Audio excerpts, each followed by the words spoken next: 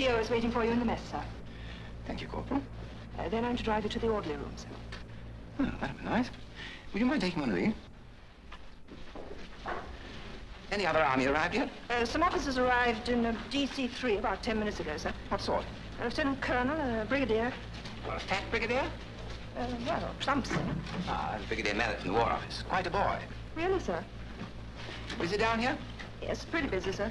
Hmm, suits you. Thank you, sir. Roses in the cheeks, sparkles in the eye. Very attractive. You know, I wouldn't mind being stationed down here. It's a lovely reception Uh, staff. the mess is there, sir. Hmm? Oh, yes. There are, boys.